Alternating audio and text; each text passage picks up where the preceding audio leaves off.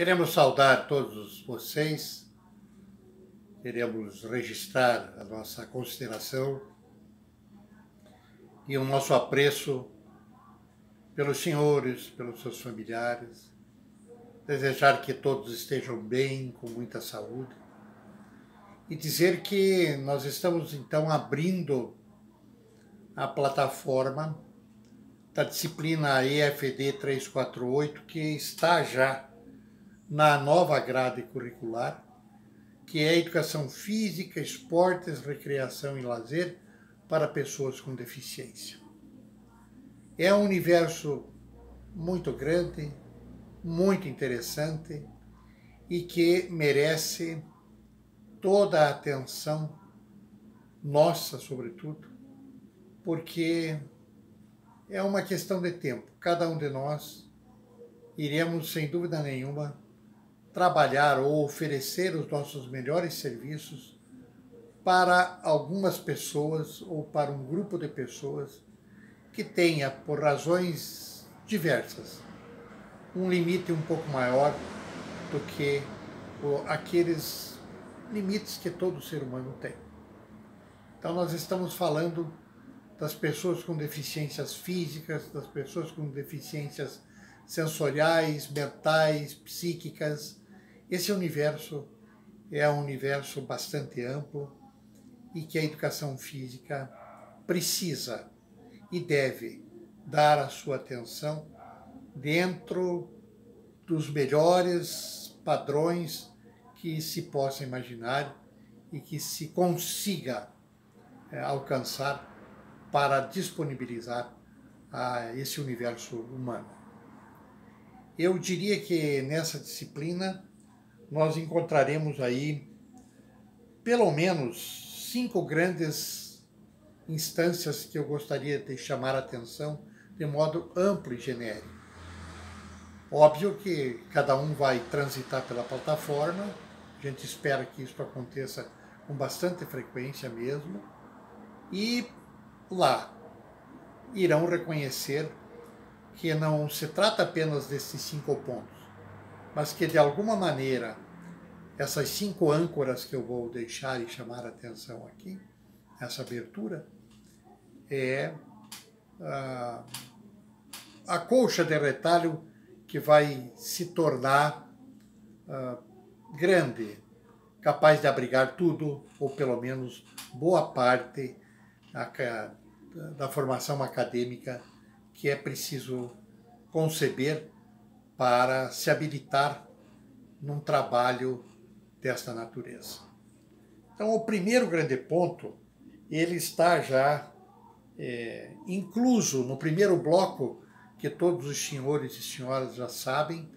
porque ele foi tratado, eu acredito que particularmente,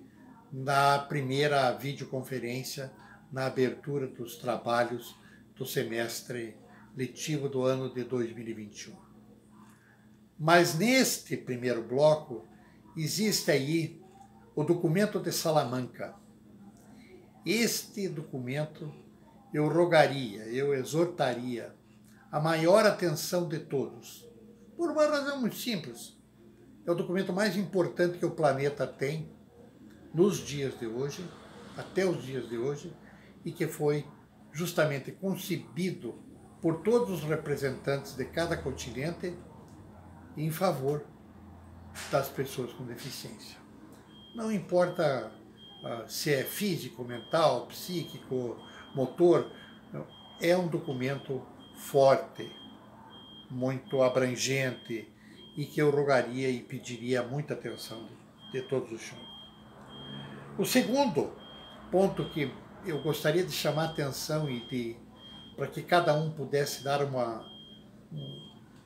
uma olhada, eu diria assim, diferenciada, um pouquinho mais de cuidado, se trata dos aspectos inclusivos. Nos últimos 30, 40 anos, ouvimos e vemos tanta coisa sobre a inclusão e, paradoxalmente, hoje existem dificuldades enormes para se promover a inclusão tão necessária, tão importante e eu diria que vital para as pessoas com deficiência. É, um terceiro ponto eu deixaria assim bem destacado que é preciso cada um de nós tomar um pouquinho mais de apropriação dos tipos, das características, das peculiaridades que estão implícitas no universo dos limites humanos. Partindo do princípio de que cada ser humano, que todo ser humano tem seus limites, há dentro desse universo e desta premissa aqueles, aquelas pessoas que por razões distintas, que não vem aqui o caso nesse momento discutir ou apresentar, apresentam gradientes de limites maiores e que bem por isso precisam de uma assistência mais atenciosa por parte de cada um de nós. E o último ponto, ele está reservado, eu deixei reservado para que cada um possa já ir se preparando para as práticas que estão é, voltadas e focadas nas visitas técnicas que haveremos de, se Deus quiser, realizar quando do retorno das nossas aulas presenciais.